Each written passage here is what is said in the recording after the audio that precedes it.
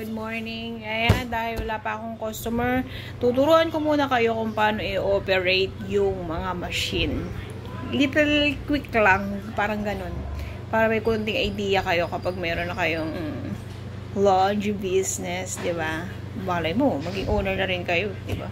Sana all. Nagiging owner, di ba? Ayan, sige, ganto, ganto, ganto lang siya gamitin. Tara. So guys, ito yung washing. Ito yung washing niya. Tapos ito naman yung dryer niya. So laging partner yan. So itong washing, ang nakalagay dito, um, hot, warm, cold, delicate, tsaka add support wash. So ang ginagamit lang namin dito usually is warm. Tapos, 34 minutes lang siya. Pag pinindot mo yan, 34 minutes lang siyang tatakbo. Meron ditong wash, rinse, tsaka spin. Pag uh, ito, nagbi-blink-blink na, ibig sabihin, nagwa-wash na siya. Tapos, pag, pag tapos na siya mag-wash, mag-i-stop na to, magre-release naman siya, ito naman magbi-blink niya. Tapos, pag spin na, ito naman magbi-blink niya. Ganun lang, okay? Tapos, start lang. Tapos, ito, ito yung lagayan ng sabon.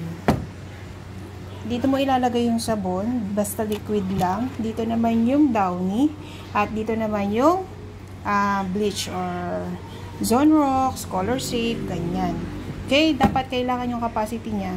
Sakto lang dyan kasi pag masyadong maraming sabon, um, masyado siyang bubula ng marami. So, parang hindi hindi normal yung spin niya. Kaya kailangan nakasukat lahat ng um, ilalagay nyo doon. Okay? LG nga pala yung machine na ginagamit namin. Tapos, ito naman ay yung dryer.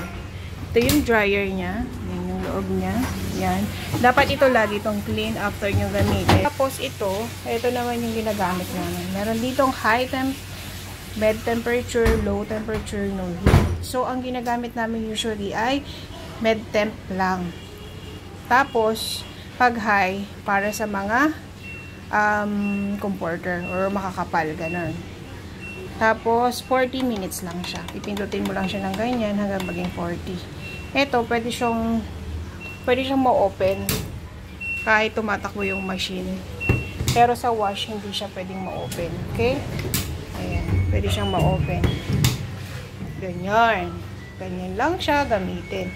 Dito naman sa dryer, 40 minutes. Tapos, alam nyo ba, ang nagpapa uh, ng ating mga damit ay LPG.